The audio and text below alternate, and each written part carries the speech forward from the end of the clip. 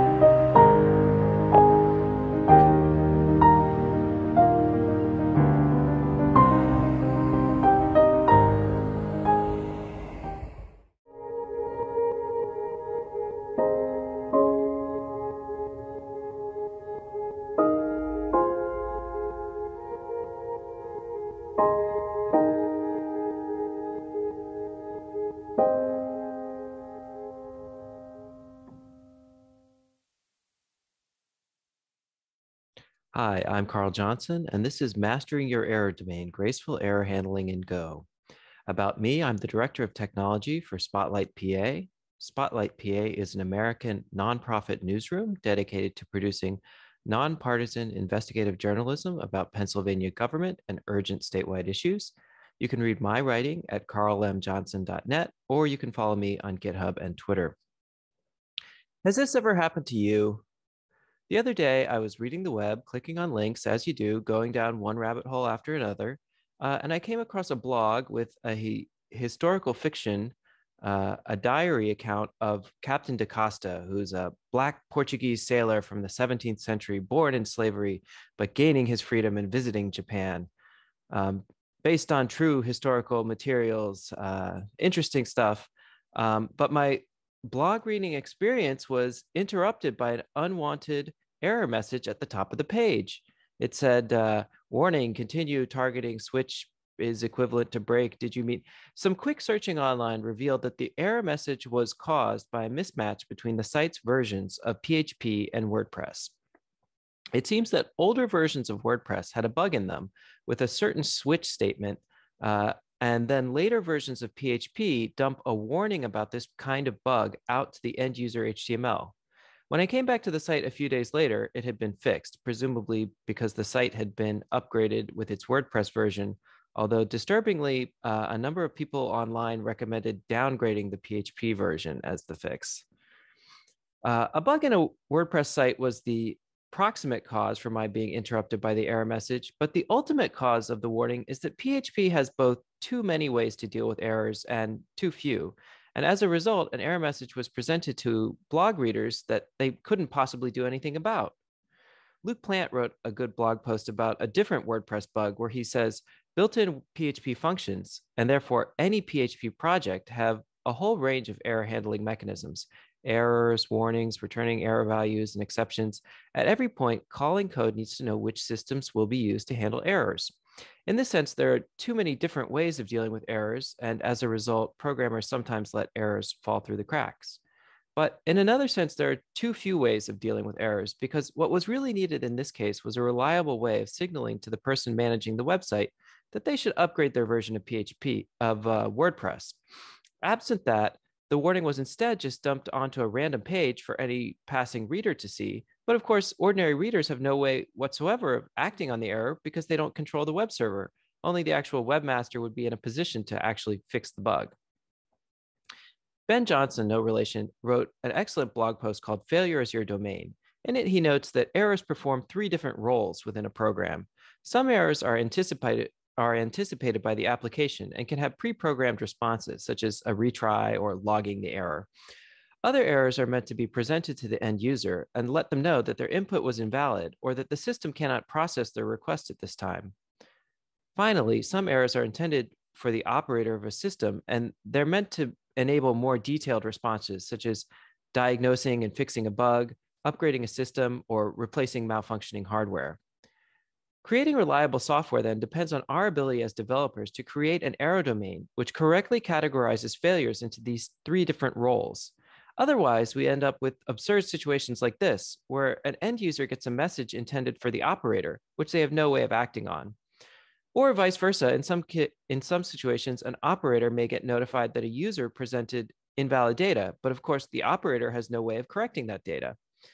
Uh, and then finally, uh, there are many cases where an application uh, can automatically handle uh, the failure, but unfortunately, it's all too common that the automation is not done, and operators and users find themselves just mechanically pushing buttons in response to errors.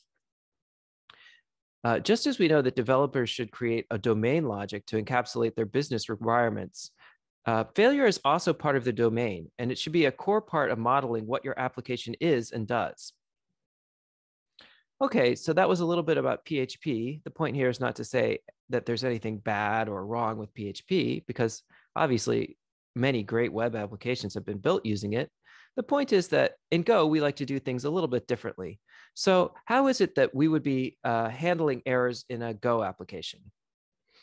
Well, of course, everyone knows that Go programmers handle errors by typing, if error does not equal nil, return nil error. It's a meme, but it's a meme because it's true. Uh, if you program in Go for any length of time, you will end up typing this out more than once. Uh, and you probably will have uh, some macro in your IDE or text editor uh, that lets you quickly auto-complete it because, you know, it is something that comes up a lot. That's not to say that there's anything wrong or defective with Go as a programming language. Rob Pike, one of the creators of the Go programming language, has a great quote. He says, values can be programmed. And since errors are values, errors can be programmed. Because errors are just normal values instead of a special form of control flow, they have the same flexibility and inflexibility as other values. While it's true that Go has both errors and panics, and panics do work essentially like exceptions in other languages, Go encourages programmers to use values of the error interface type for expected problems, which means they can be programmed and abstracted around just like any other data type. This leads to the meme and the reality of if error does not equal nil, but it also allows for experimentation and novel application architectures without having to wait for explicit support from the language itself. Just as you wouldn't expect the language to provide a different way of returning an integer versus returning a string, errors are just ordinary values and they can be returned and dealt with in ordinary ways. They can be added into slices, put into maps, sent over channels, and whatever else you might do with an integer, a string, or any other value. The error interface is deliberately simple and it imposes no particular behavior requirements. All it takes for a value to be an error is to have a method for returning an error string. This allows programmers to easily create their own error types with the data and behavior that is relevant to their particular project or application. Go is a statically typed language, but the pervasively the pervasive use of a deliberately simple interface for errors allows for runtime runtime dynamic introspection. The dynamic nature of errors can lead to problems if misused, just like in other dynamic languages, but overall, it has allowed for a number of community experiments in annotating errors. By using type assertions and runtime introspection, developers can look at a given error and see what concrete type is behind it, and then build new behaviors on top of that. Prior to Go 1.13, a third party package from Dave Cheney called PKG errors became very popular. Using this package, it was possible to extend your errors by adding more information without losing the underlying cause of the error. It was possible for a third party to do this, to add this kind of feature to errors because errors are just ordinary values. And so a third party package for dealing with errors can handle them without requiring any particular, language, any particular change from the language itself. The PKG errors package became so popular that it was decided to add a similar mechanism to Go's standard library. Starting in Go 1.13, which was released in 2019, errors can now optionally have an unwrap method that returns their parent. Doing this creates a linked list or a chain of error value parents. This chain can then be inspected with errors.is to see if any value in the chain is equal to a particular target value, for example, you might want to use a certain sentinel value to trigger certain application behavior, but you might still want to be able to annotate the error with additional context information. The chain could also be inspected with errors.as to see if any of the parent values in the chain is implemented by a certain concrete type or implements a certain optional interface in addition to the basic error interface. The docs for errors.as give the example of inspecting the return value of os.open. The errors returned by os.open are implemented by os.pathError, and by turning the abstract error interface into the concrete os.pathError type, it's possible to retrieve the path or operation that caused an error. Note that the else clause here allows for additional unexpected errors to still be captured correctly. Uh, one of the nice things about using the error interface is that precisely because it doesn't attempt to encapsulate all possible return values like an enum or um, a, a type union in some other languages, it allows for errors to grow as an application grows. Let's go back to Ben Johnson's proposal that failure is our domain and take building a command line application as a concrete case study to see how we can use errors.as to add domain information at the boundaries of our application. When you run a process in a Unix-like system, it has an exit code. A zero indicates that the program ran successfully, and any other code indicates a failure. There have been various attempts over the years to uh, standardize general purpose exit codes, but none of them have really stuck. For most programs, they only end up using zero or one, uh, but many programs do have their own custom set of codes. For example, curl defines 25 as meaning upload failed. It defines 47 as meaning too many redirects, and so forth and so on, up to exit code 96, which curl defines as quick connection error. The exit code package is a simple library that I wrote to help you create your own command line interface in Go, which returns a proper exit code. Of course, the simplest helper would just be a function that returns zero if the error is nil, and returns one if it's non-nil, but we can do more than that thanks to errors.as. Package exit code documents a coder interface that extends the error type. To be an exitcode.coder, a concrete error type just needs to have an exit code method that returns an integer, in addition to the standard error string method. Other packages can create their own error types with an exit code method if they want to, but package exit code has its own set function that lets users quickly add an exit code to an existing error value without having to create their own new type just to have the exit code method. Then using exitcode.get, we can retrieve any exit code associated with an error. Or if an error has no exit code associated with it, we can still get one back for error present and zero back for nil. This would let us implement a range of error values in our command line applications, just like curl has, by associating known error values with the correct exit codes. Package exit code is a simple example of what's possible by treating errors as dynamically typed values, but we can take it even further. As I was building a web application with Go to create an HTTP JSON backend, I thought a lot about what the domain of my errors for what the domain of errors for my API was going to be and what the different roles they played were. As I worked on it over a series of months, I realized two things. First, that my failure domain just was the set of HTTP status codes. And second, that in the majority of cases, but not quite all, my user message was just going to be a restatement of the status code. Web standards like RFC 7231 define a number of different codes, like the well known 404 not found status. And then there's status 200, which means okay, there was no error. Uh, there's status 400 for bad request, where that means that there was a validation problem with uh, the request made by the user. Uh, 401 unauthorized, 403 forbidden. So those are both about authentication and um, authenticating. Uh, we have 502 bad gateway. That's when you're trying to connect to another server, but for some reason the other server doesn't uh, give you a good response. And finally, there's 500 internal server error, uh, which is the status code you use when something has gone wrong on the back end and you don't necessarily want to reveal the details of it to the front end. I wrote package resperr, response error, with these realizations in mind. Package resperr defines two interfaces to extend errors, one for HTTP status codes and another for user messages. It's similar to how package exit code uses its coder interface to define exit codes, but an important difference is the relationship between the two interfaces in the resperr package.